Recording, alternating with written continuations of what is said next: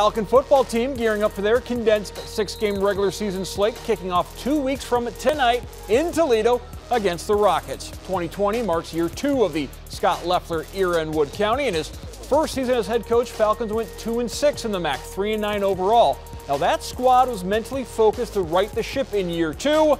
Then COVID hit, temporarily postponing the season. Since the league reinstated play, Falcons are grateful for each and every snap and can't wait to shock some people this fall as they once again race to the moon. Over this whole, you know, period of time, a lot of guys have been stressed out, you know. Of course, I mean, we eat, breathe, sleep football and just, you know, hearing that our season was going to be, you know, cancel, I think everybody was pretty, you know, down and depressed, but to find out we got an opportunity to play, I think everybody's just attacking it and just ready to get back on the field.